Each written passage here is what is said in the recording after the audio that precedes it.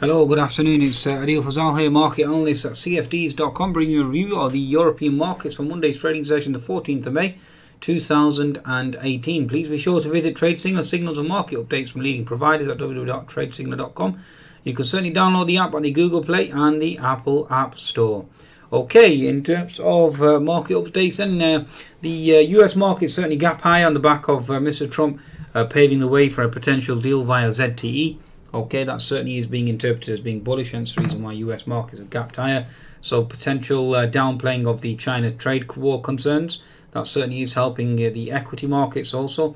Uh, and the additional factor as well, we have um, uh, in terms of well, that really is the main factor, really, especially with regards to US indices pushing higher as well on a Friday. In terms of um, Asian markets, Asian markets certainly higher as well on the back of uh, the uh, rhetoric with regards to Trump and uh, obviously China certainly being uh, rattled down. Now, in terms of uh, European markets, certainly haven't exactly uh, benefited from the actual rally itself in US equities. Let's just bring up the German DAX, and you can certainly see that we're still obviously registering that bearish engulfing candle, so still relatively remains weak. Failed to take that double top high at 13035 especially with the daily chart into that gap fill resistance.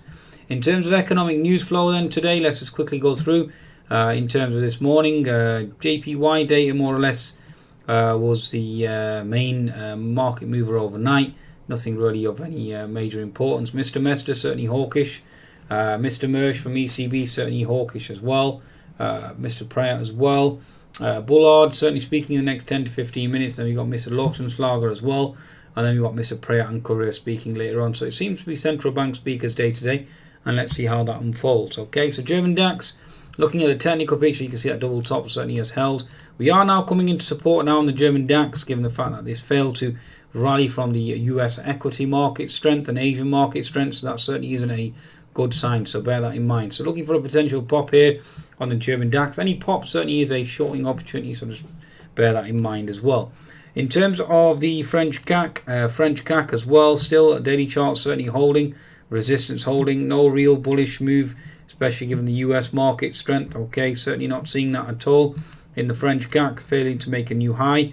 We are into support here, looking to potentially bounce back up to 5540, which is gap fill, and you got ultimate gap fill at 5545. So watch out for those two resistance zones above. In terms of the FTSE 100, certainly remains weak. Okay, uh, today uh, certainly is a weak link. Now the daily chart, as you can see, bearish engulfing candle being registered. 60 minute chart now as well certainly still remains weak. Uh, again, the market has been putting higher highs and higher lows ever since.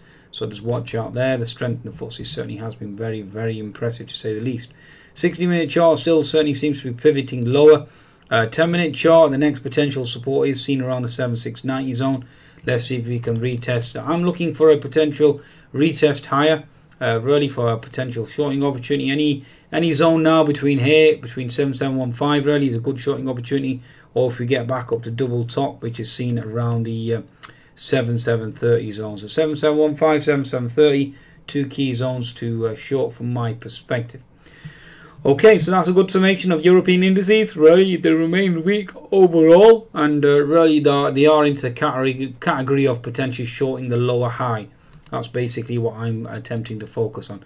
Please be sure to visit CFDs and certainly take advantage of the bonus there and be sure to visit Trade Signal, signals and market updates from leading providers. Goodbye now.